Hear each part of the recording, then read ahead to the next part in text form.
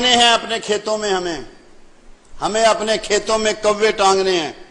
जो लोग देहाती बेस रखते हैं, वो इस बात को जानते हैं कि जब सामनी तैयार होती है, जब छोटी छोटी दालें तैयार होती हैं तो कौवे वगैरह परिंदे गौल के गौल उनको आ पड़ते हैं और उन फ़सलों को तबाह करते हैं। तो खेत का मालिक कौवा मार के उसमें टांग देता है। फिर बाकी कौवे नहीं आते। तो जो चोर और बदमाश और लुटेरे हैं इस मुल्क के उनको उनके खेतों में एक दफ़ा ज़रूर टांगना। ताकि खेत को बचाना है। पाकिस्तान हमारा खेत है। इस खेत को हमें बचाना है, उसके लिए कव्वे टांगने पड़ेंगे। और कव्वे टांगे बगैर खेत नहीं बचेगा।